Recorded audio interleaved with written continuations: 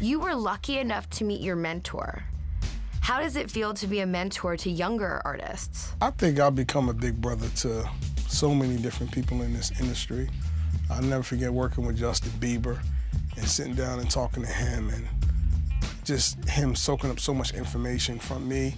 And in those moments, you feel like, you know, this is what it's all about. It's not about just a song.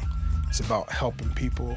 There's so many producers and songwriters that call me just for advice I would do the same thing if I was around someone like a Quincy Jones every day right now.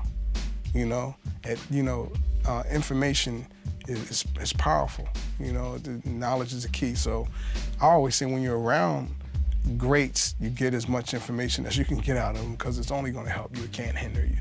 How do you approach working with new producers? I love working with new producers. You know, I think it, it's it's fresh, it's cool.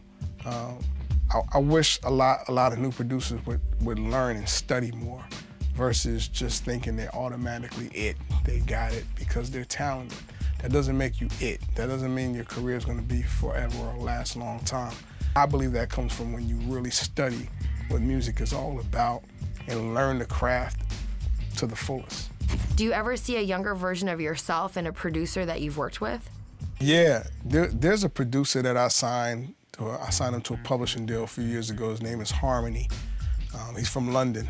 Harmony H Money is what they call him.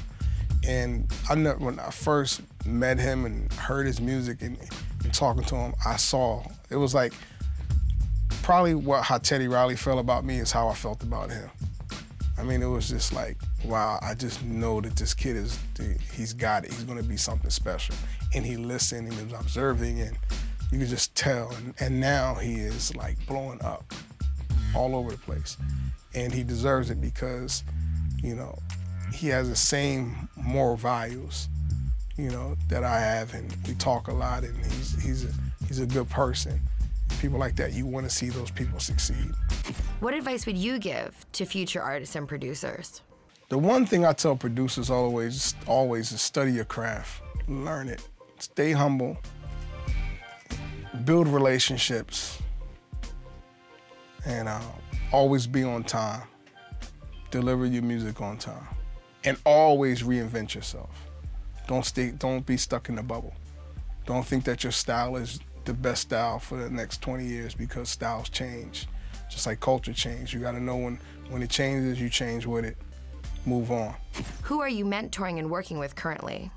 Yeah, I'm working with um, this young kid, Dylan Allen who I'm really ecstatic about. He signed to RCA Records through my imprint. Um, and I just think it's something special about this kid. He's young, um, so he has a long time for, long, for longevity. He has a long time to mature, and that's what I like. If he's doing what he's doing now at 13, what will it be like when he's 21? I want him to be the artist that blows up, but that is mature and inspires other people and doesn't fall off the wagon. If you could work with anybody next, who would it be?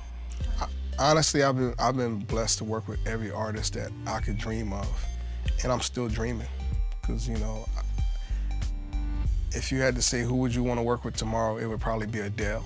I haven't worked with her yet, um, so I just keep dreaming, and and my dreams keep coming true. With the music always changing, is there any music that surprises you?